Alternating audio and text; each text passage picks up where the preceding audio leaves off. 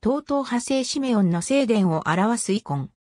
得意な修道形態を始めた聖シメオンに対し、修道士たちは死者を使わし、異様なやり方を咎めさせた。それに対し聖シメオンが柱からすぐに降りようとしたので、死者はあらかじめ修道士たちから言われていた通り、聖シメオンの謙遜を称え、柱に留まるように願った。東東派とは、聖教会で塔に登る苦行を行う修道士のこと。聖人に付される称号でもある。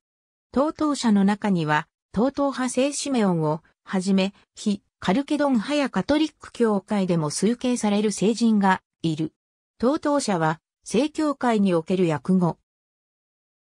聖教会以外の場面では、中東行者との訳語がある。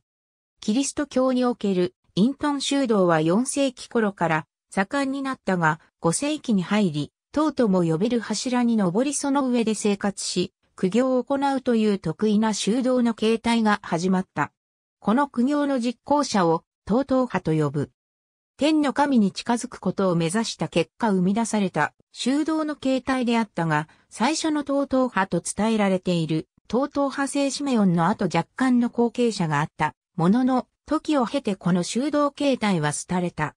高徳の塔々者の下には、多くの巡礼者たちが集まり、病を癒してもらったり、教えを聞いたりしたと伝えられている。ありがとうございます。